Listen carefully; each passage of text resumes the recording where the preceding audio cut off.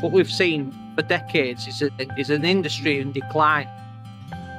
We've seen in 2015 what happened to Redcar and the decline that the, once the steel industry took away from, from this area.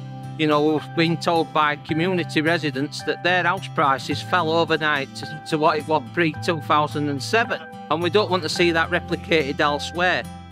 The demand for virgin steel gives us an opportunity where we can not only just save jobs, we can also grow jobs for generations to come.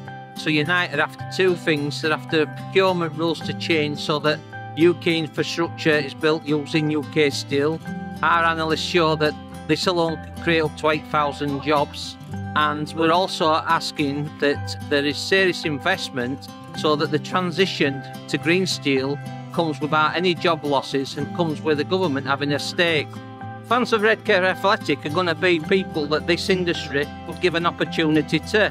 You know, a lot of your fans will have had that opportunity already in the past.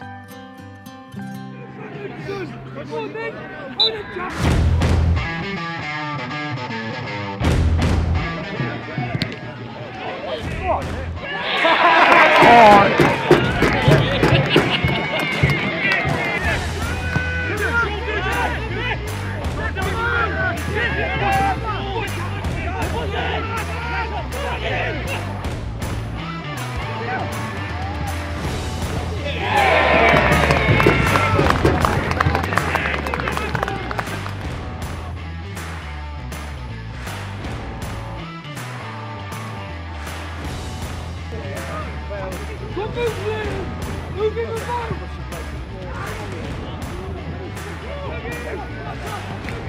you.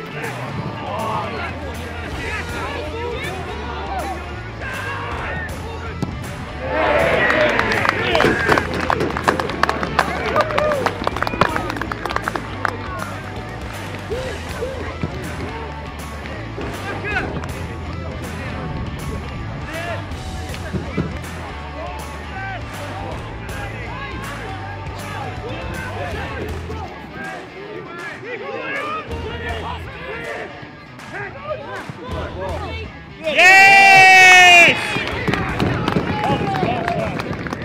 That was class.